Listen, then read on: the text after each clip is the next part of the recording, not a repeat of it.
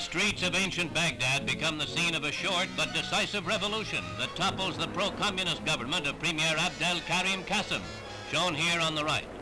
A six-man military junta seizes power on a holy day, and within hours the premier, who reportedly had executed 10,000 people, is himself shot.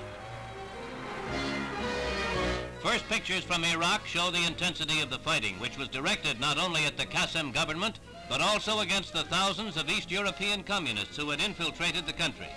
It took 240 tanks and a brigade of mechanized infantry to break the resistance of the 1,500 military police who had been guarding the premier.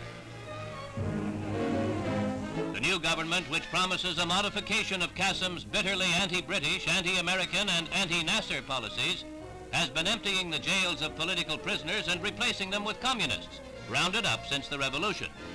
What the final impact will be, nobody can say.